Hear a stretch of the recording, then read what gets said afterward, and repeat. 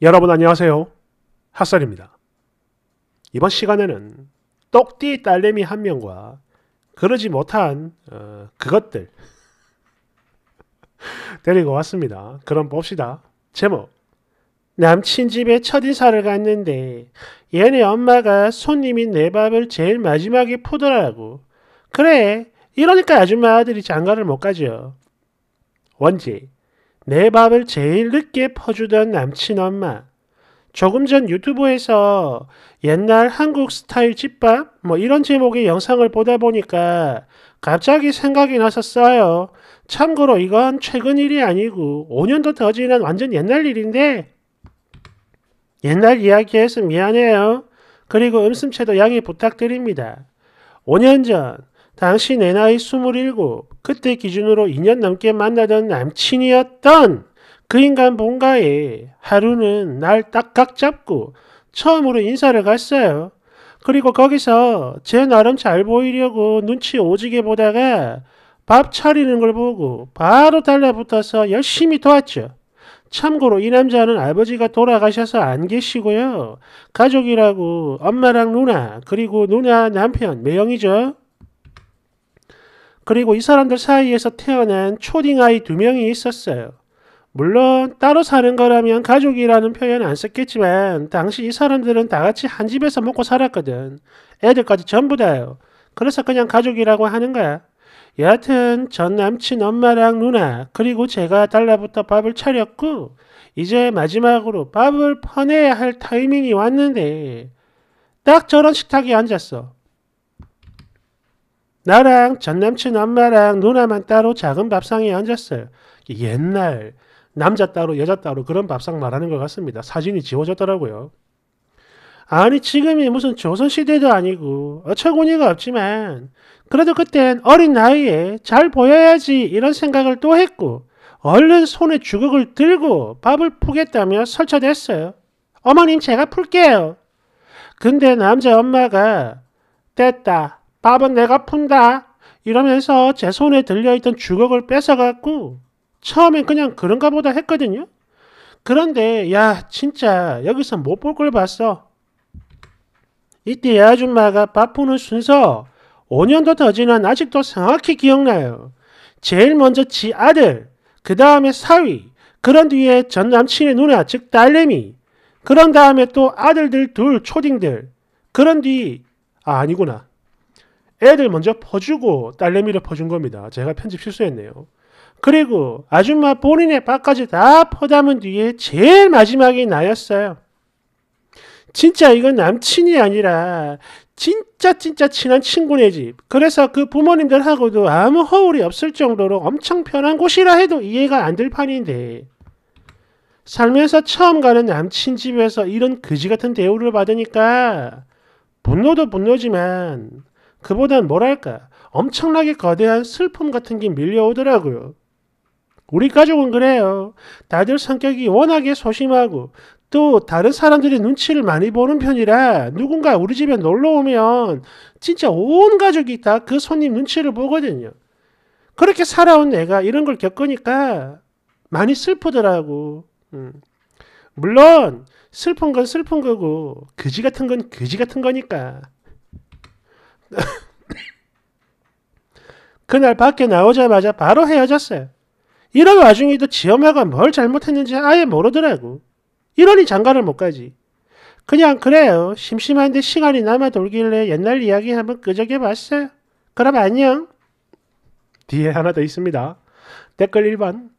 옛날 일이지만 그래도 정말 잘 헤어진 거예요. 아니 근데 뭐가 됐든 간에 당연히 손님이 먼저 아닌가? 게다가 집에 있는 초딩들보다 못한 대우를 받다니 미쳤구만. 2번. 그냥 거기서 빈말이라도 너 따뜻한 밥 먹으라고 일부러 제일 마지막에 pus다. 이러면 또 몰라. 어우 정말 잘 헤어진 거예요. 싹수가 보였네. 밥 푸는 거에서부터 말이야. 뒤에도 뻔하고. 3번. 저런 인간들은 나중에 지들 스스로 알아서 벌 받습니다. 써니는 더 좋은 남자, 나 같은 남자 만나가지고 사랑받으세요. 응. 야 진짜 남친이란 단어 앞에 전자가 붙어 있어서 너무 다행이다. 5번 딱 보니 그냥 남자가 하늘인 집구석이었구만. 근데 아무리 그래도 그렇지 손님이 오면 손님을 먼저 챙겨야지. 이거는 저 아줌마가 남자는 하늘, 여자는 땅 이런 사상을 가지고 있고 그리고 내 아들이 데리오고 온 거는 내 종년이지. 이런 미친 마인드가 박혀 있는 겁니다. 잘 도망친 거요. 어. 6번. 아니, 손님, 사위, 누나, 아들, 손주 이 순서가 정서가 아닌가요? 손님부터 제일 먼저 챙기고 그 다음 또 마찬가지로 손님이 사위 그리고 며느리 어? 그 다음에 뭐 자식들 나이 순으로 애들은 제일 마지막에 이게 맞지 생각도 없이 냅다 지 아들부터 챙기고 손님 홀딩하는 거 보면 몰상식한 쌍놈 집안이야 잘 헤어진 거예요 7번 얼씨구 진짜 별 거지 같은 집구석을 다 보네 깔깔깔깔 휴 그지 같은 남미스 사연이 아니라 너무 다행이야. 5년 전 이야기라니까 얼마나 좋아. 두 번째 사연입니다. 원제. 아, 내 남미새 친구가 그립다. 다시 친구하고 싶어요. 내가 아는 사람들 중에 지상 최강의 남미새 친구가 있었죠.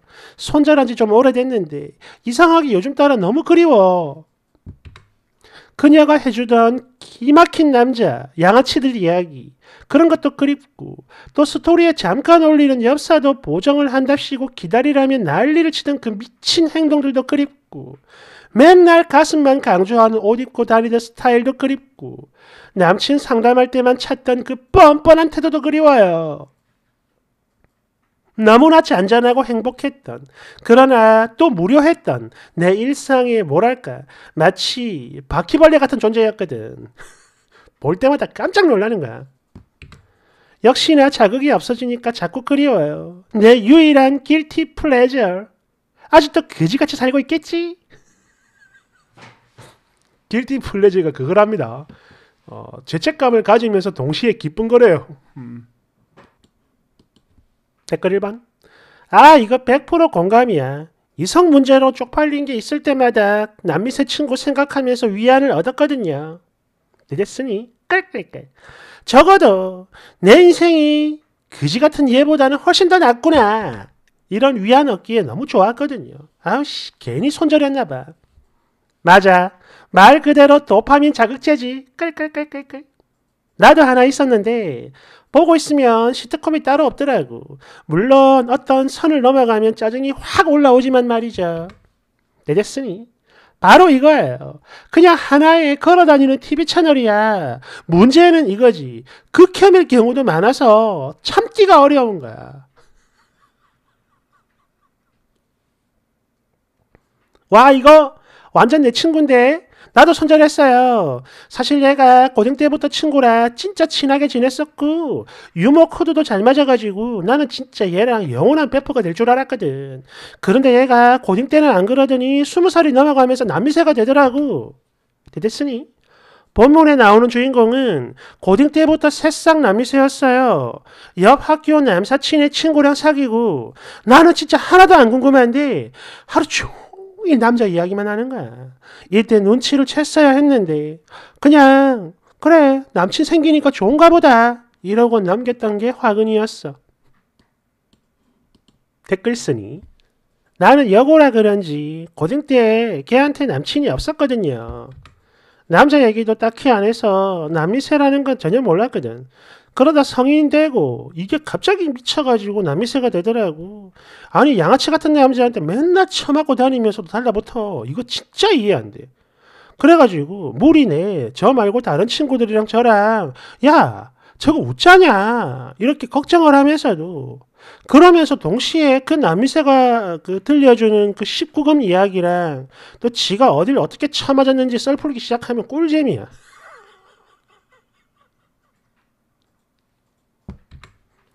근데 그때는 뭐 남미사라는 말도 없던 시절이고 10년도 더 됐거든요. 지금은 어떻게 살고 있나 모르겠네. 남자한테 미친 듯이 집착을 하더니 결국 금기의 영역으로 들어가더라고. 이 그지 같은 게 애 딸린 유부남이랑 바람을 피운 거야. 돌싱을 만난 것도 아니고 유부남하고요. 결국 여기서 저를 포함해 모두가 동시에 손절했는데 아니 정확히 말하면 이건 절대 안 된다. 너 미쳤다. 라고 말리는 우리한테 지가 먼저 쌍욕하고 손절하고 가버린 거죠. 마마야, 그 남자 진짜 아니야. 지금은 어찌 헤어졌니? 부디 헤어졌길 바란다, 제발. 4번. 나도 약간 뭐랄까, 스스로 회의해질 때마다 남미세 친구 얼굴을 떠올리면서 내 자신을 다 잡아요. 하는 거 보면 짜증나 미치겠는데, 이런 건 또 도움이 되더라고. 신기해. 반면 교사 삼는 거죠.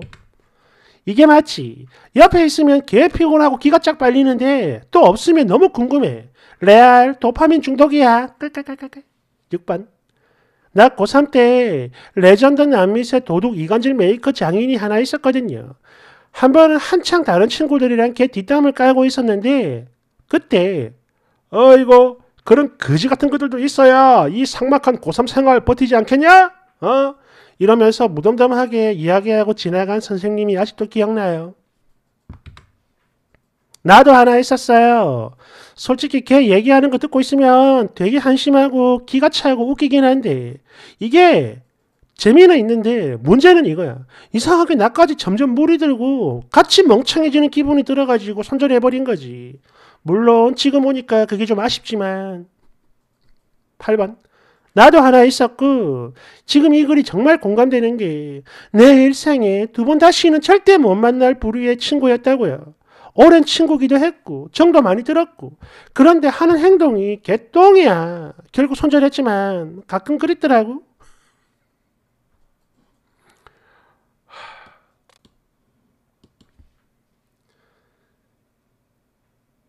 사람이 보통 뭔가에 미치면 좋은 결과도 많지 않습니까? 예를 들어서 뭐 그림에 미쳤다. 그래가지고 뭐 그림으로 뭐 돈을 잘 벌 수도 있고 뭐 컴퓨터에 미쳤다. 그럼 프로그램 열심히 배우고 공부해가지고 또 잘 될 수도 있고 뭐 뭐든 간에 뭐 미용에 미쳤다. 뭐에 미쳤다. 보통 이게 다 미치라고 하잖아요. 그죠? 그래야 제대로 할 수 있다고. 근데 이런 남자에 미친다든지 여자에 미친다든지 아, 정말 어지럽습니다. 뭐 나는 좋지. 어, 나는 좋아요. 아무튼 그래요. 음. 앞에는 똑똑한 아가씨였고 뒤에 나온 것들은 그 반대죠. 어, 제발 이- 이러지 맙시다. 어. 지금도 그 불륜 카페 가봐요. 남미세 트럭이야 트럭. 어, 정신을 못 차려. 어, 대단들해. 음. 아무튼 감사합니다.